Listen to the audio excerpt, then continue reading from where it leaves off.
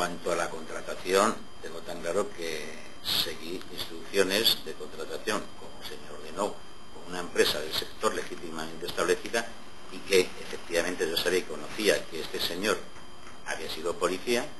me dijo que estaba en situación administrativa de excedencia y luego se ha demostrado con el tiempo, cuando se supo que realmente estaba en activo y era un agente encubierto, el propio Ministerio le tenía compatibilizado su actividad profesional con la pública con la privada. Pero que en ningún caso yo cuando contraté en la primera ocasión sabía que estuviera en activo, sino todo lo contrario.